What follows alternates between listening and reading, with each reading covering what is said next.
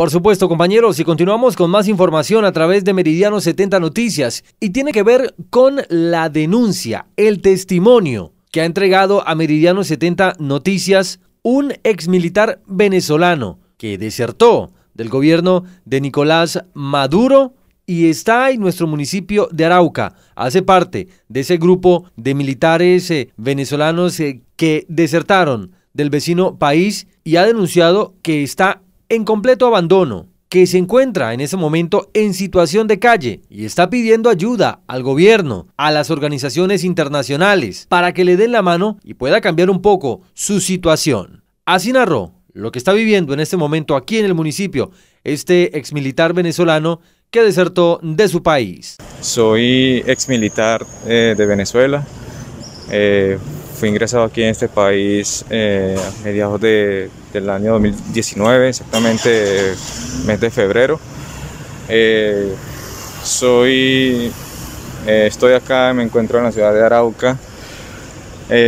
decidí desertarme de, de las Fuerzas Armadas pues como muchos conocerán el, por el sistema de, del gobierno que, que, no estamos de acuerdo con ese gobierno. Eh, estamos aquí, soy uno de los que estamos aquí por la eh, para por una causa eh, que nos, iban a prestar el apoyo ya una vez que desertamos de ese país. Y bueno en conclusión para indicarle que de verdad me encuentro en un estado de vulnerabilidad, ya que prácticamente eh, estoy aquí desamparado, eh, me encuentro en situación de calle, no tengo ninguna estabilidad ni de hogar ni laboral, entonces quería hacer este tipo de, no denuncia, sino de comentario, ¿sí? de declaración, para si alguna institución tanto gubernamental como privada, eh, pudiera retomar el caso, ¿sí? para ver si, si, si me pueden ayudar, si me pueden prestar el apoyo, ya que de verdad eh, mi estado ha sido de verdad muy vulnerable, ya que no puedo irme eh, para mi país por, por ser un militar desertado y estoy solicitado eh, por el gobierno. Y bueno, sin más que decir, eh, de, verdad, de verdad le doy muchas gracias por la, por la oportunidad de, de, permitirme dar esta declaración. Y bueno, en nombre de Dios, si, si alguna institución de verdad nos puede brindar el apoyo, asesoría, pues estaremos eh, con los brazos abiertos esperando esa, esa noticia. Bueno, muchas gracias.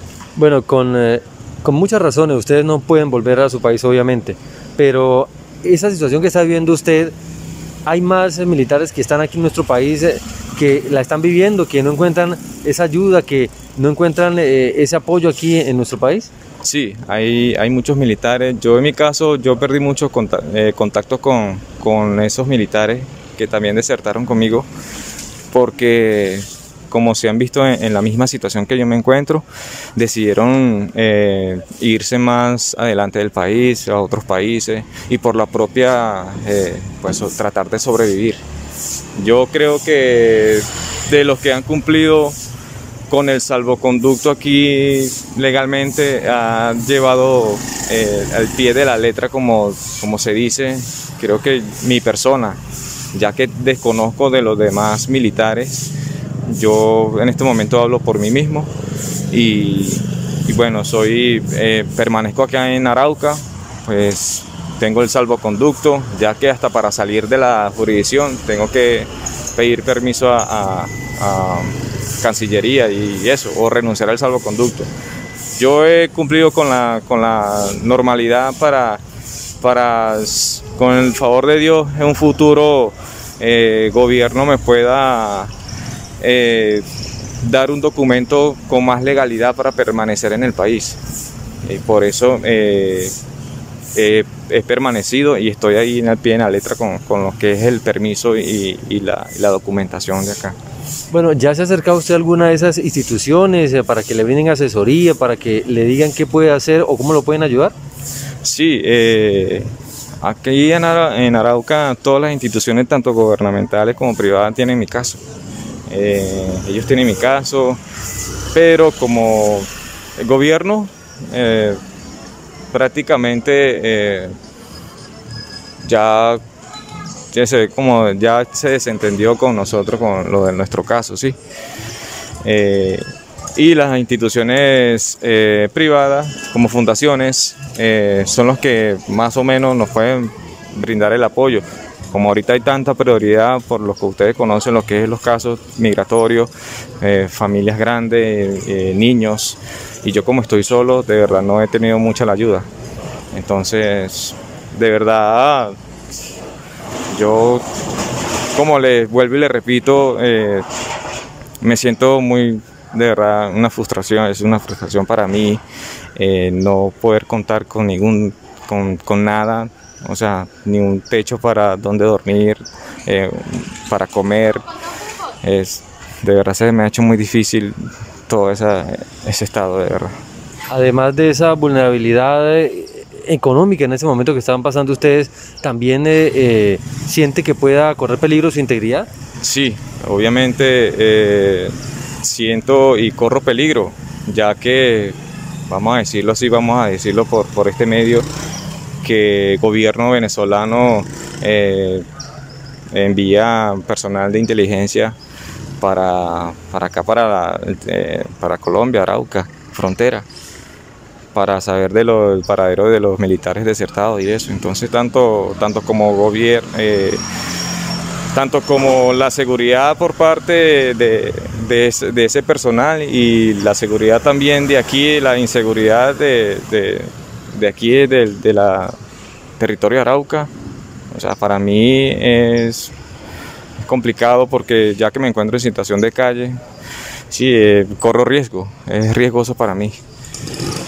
Pues hagamos ese llamado final para que estas organizaciones eh, pues pongan el ojo nuevamente en el caso como el suyo, como el de sus compañeros, que en este momento están en total vulnerabilidad. Sí, les hago un llamado nuevamente a instituciones, tanto gubernamentales como privadas, para ver si, si, si existe la posibilidad. Yo, por ejemplo, en mi caso, eh, lo que más anhelo es mm, una estabilidad laboral, sí, trabajar para yo mismo sustentarme eh, mis necesidades, poder tener un, un, hogar, un techo donde, donde permanecer, tener cómo alimentarme.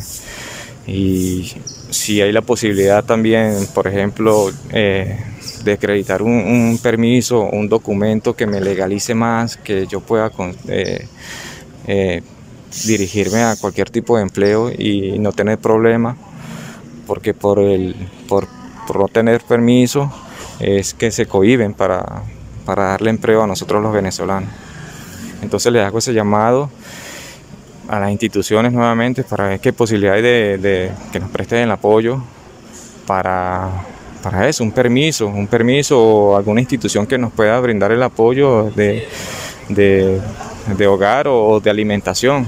Cualquier tipo de ayuda de verdad para mí, la más mínima, sería muy de mucha bendición. ¿sí? Y bueno, de verdad les doy muchas gracias. Eh, a Colombia le doy muchas gracias, de verdad, por, por brindarme acá dejarme permanecer aquí en este prestigioso país y ojalá en nombre de Dios se pueda, pueda más adelante poder estabilizarme por, gracias, eh, por una ayuda de ustedes como instituciones. Ahí estaba el testimonio de este militar venezolano que desertó del gobierno de Nicolás Maduro y está implorando que lo ayuden a salir adelante porque en este momento se encuentra con una situación totalmente precaria. La información con Jesús Aníbal Giraldo Gómez.